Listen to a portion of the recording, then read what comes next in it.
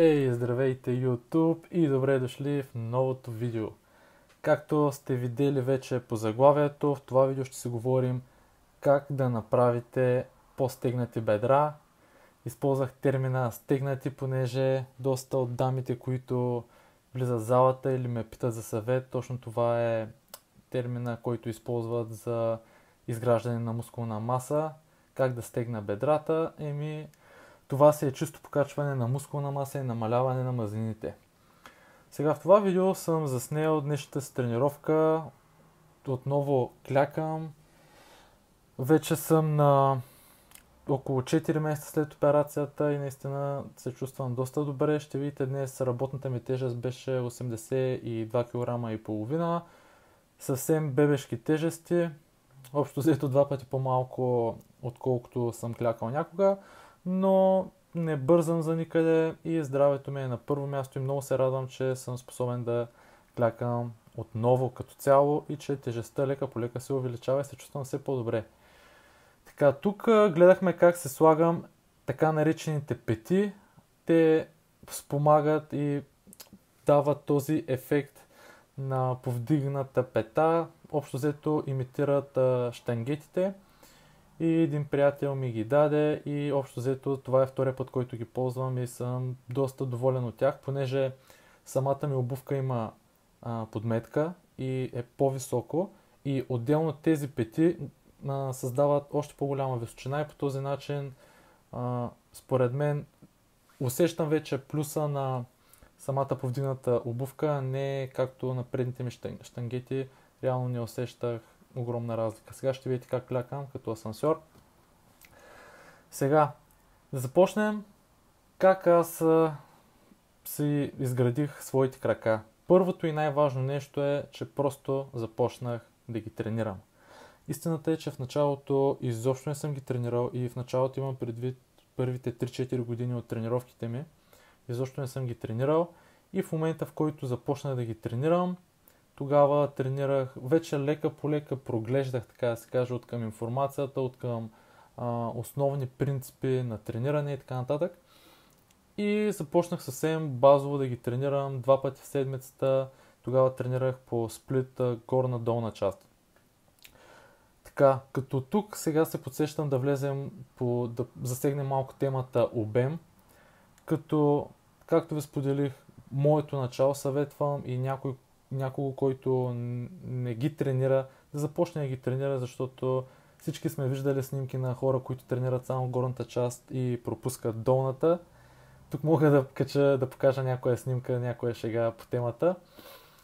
Така че, според мен, лично моята философия и аз за себе си желая да тренирам всички мускули и да бъда балансирано развит навсякъде. Като бедрата ми, тук се сещам за темата ген. Да, а, има, всеки има някакви генетични заложби и в случая наистина някои мускули при едни растат повече спрямо други и в моя случай бедрата се получи да бъдат такива, но честно казано това според мен няма как да го знаем преди да го изпробваме. Така че не се а, обвързвайте прекалено много около темата ген а просто започнете да тренирате дадения мускул, който желаете да, развие, да развиете и общо взето това, което може да направите е да увеличите мускулната маса в тази зона. Не се а, мразете гена, обикнете го и го развиете. Така, като за начало, като започна да тренирам, тренирах съвсем минималистично. Общо взето се опитах, се постарах да науча техниката на клек, техниката на румънската тяга, случая за задни бедра, готеус. И наистина програмата, която правих, беше съвсем базовата. Съветвам ви за начало, ако не сте тренирали крака, а, реално сте, да кажем, горната ви част е средно напреднала, но крака не сте правили, то а, обърнете им внимание на тях като на начинаещ. Това според мен е съвсем логично, че е мускулна група, която не, не сме тренирали, а реално вече имаме опит в залата, то трябва да я гледаме като начинаеш тренираш, буквално като отделен човек, защото ако някой ваш приятел решава да тренира, те първо да започне да тренира в залата, какво бихте го посъветвали? Да направи вашата тренировка или да започне съвсем минимално, нали, те първо да навлезе в залата? че така този метод също може да го използвате за самите вас, за която и да е мускулна група.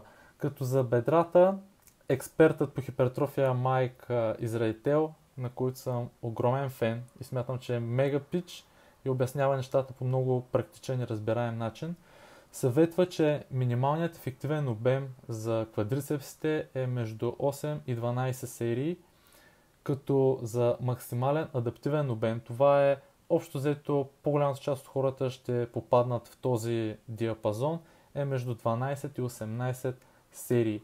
Абсолютно съм съгласен, че има, съществуват изключения, като мога да ви кажа, че аз в момента нямам 12 серии дори тренировка за крака на седмица.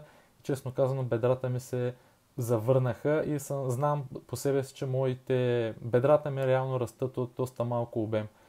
Но реално за бедра или за друга мускулна група, ако не желаете да я развивате, както в моя случай аз си харесвам бедрата и честно казано искам да ги поддържам, общо се да не стават по-големи, да си ги задържа така и просто да придобиват повече детайли, така да се каже. Все пак да ги тренирам. Тогава може да се придържате към минимален обем, чрез който да ги запазите.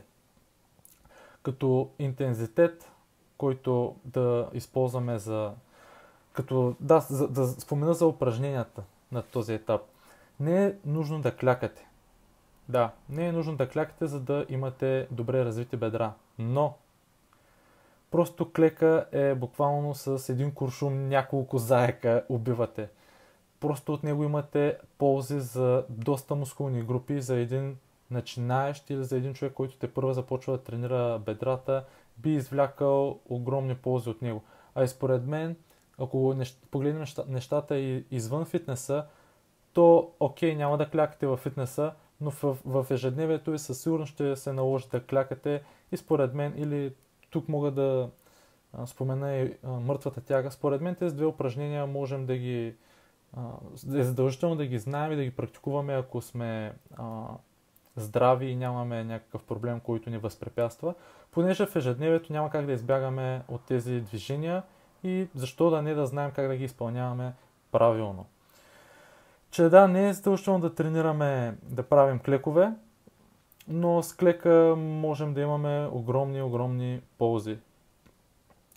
Като, що се отнася за тренировачен обем, а, за тренировачен интензитет, прощайте, според мен а, един по, едни по-високи повторения от рода на 8-15 биха свършили добра работа. Същото въжи, че може да изграждаме мускули в бедрата или в който и да е друг, друга мускулна група и с по-малко, и с повече повторения, но просто ако използваме по-малко повторения, то там трябва да може това да ни повлияе на възстановяването и на умората. Там просто трябва да, особено ако човекът иска да се занимава с трибой, абсолютно да, би му било необходимо да използва по-висок интензитет но за средностатистическия човек повторения над 8, между 8 и 15 за бедрата биха свършили чудесна работа, понеже ще набави прилично количество обем, доста обем даже, а, и за сравнително малка умора.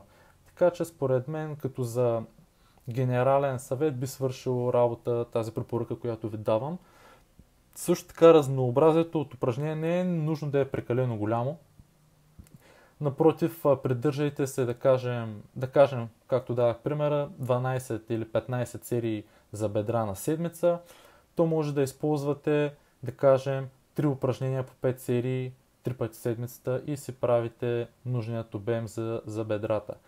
И да, общо взето, харесайте се едни упражнения, Опитайте се да ги развиете в рамките на няколко мезоцикъла, да кажем 3, 4, 5 месеца. Колкото по-начинаещия човека, толкова по-дълго време може да прави дадено упражнение без да го сменя. И след това вече има толкова много вариации, които може да използвате а, с цел нали, отново развитие на дадено упражнение, че няма как да ги спомена всичките тук в това видео. Да, смяната, както споменах, може да я правите за начинаещите доста по-рядко, при по-напредналите може и по-често, като частотата за, трени... за трениране на бедрата зависи от нивото на напредналост. Ако сте по-напреднали, може да тренирате по-често, ако сте начинаещи, може да минете с по-малко, понеже ако сте по-напреднали, бихте имали нужда от повече обем, начинаещите имат нужда от по-малко обем. Тоест, частотата да я използваме като разпределение на тренировъчният обем, а, може да не злоупотребяваме с нея, може и да тренираме по-често. Според майки заради тело, особено по-големите индивиди, които имат повече мускулна маса, а, могат а, да минат с по-малко с по-малко тежки тренировки за по-големите мускулни групи. Така че всички експерти в тази сфера на научно обоснование фитнес имат някакво мнение по въпроса. Аз ви казвам, че моето мнение е да, го, да използвате частотата като разпределение, разумно разпределение на тренировъчният обем. Друго нещо, което мога да ви посъветвам е да използвате пълен обхват на движение. Както сега ще видите тук на този клек, аз това се старая. В момента клякам хайбар, умишлено, точно за да мога да спускам максимално надолу и с тези пети абсолютно мога да го направя. Гледам да стягам ядрото максимално, не бързам, поемам се въздух. За мен и след хернията ми е важно да имам едно здраво ядро и да няма такива проблеми повече. Така че не, не бягам от проблемите си, решавам да се изправя срещу тях и да се справя. Така че, друго нещо, което мога да ви посъветвам, когато прогресът за цикли, то може да видите, да направите един анализ, да осъзнаете дали имате нужда от повече обем, от по-малко обем, да вкарате някаква периодизация. И виждам, че кадрите приключват. Надявам се клипа да ви е харесал. Ако е така, харесайте го, споделете го, абонирайте се за канала, пишете коментари и ако искате да направя видео на, за друга мускулна група, напишете в коментарите. Ще се видим в следващото видео. Чао!